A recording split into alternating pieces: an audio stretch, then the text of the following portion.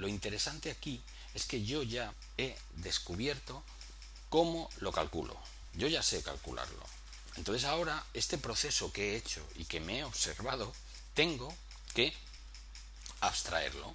Entonces para abstraerlo viene muy bien el hacer pseudocódigos. Si yo aquí lo voy a extraer y voy a ir de lo más general a lo más particular. Y lo voy a ir haciendo apuntando simplemente ideas. El papel lo aguanta todo. Entonces, aquí en mi programa lo que hago es, creo lo siguiente. Le digo guion inicio para que se vea que el programa empieza aquí. Y aquí, lo primero que hemos hecho es esto. Una persona soltera con un hijo, sueldo anual de 25.000, es decir, las, los datos de entrada. Y los datos de entrada sabemos, sabemos que van a ser sueldo bruto anual, va a ser situación y va a ser eh, número de hijos. Lo voy a apuntar así.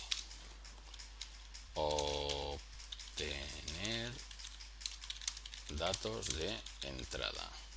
Y aquí si queremos ponemos sueldo, situación, hijos. Esto es banal, sabemos hacerlo. ¿Qué es lo siguiente que hemos hecho? Lo siguiente que hemos hecho, lo que nos pide el cuerpo, es irnos a obtener el tramo de retención. Pero antes de obtener el tramo de retención, lo que tenemos que hacer es obtener la exención, que va a ser un número. ¿Vale? No nos preocupamos, no nos vamos a preocupar por esto. Estamos en un proceso de análisis.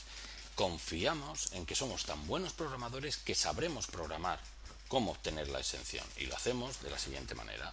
Hacemos así y ahora le decimos obtener exención. Y esto que está como una etiqueta de HTML con su menor que y su mayor que en los extremos, esto confiamos en que sabremos programarlo.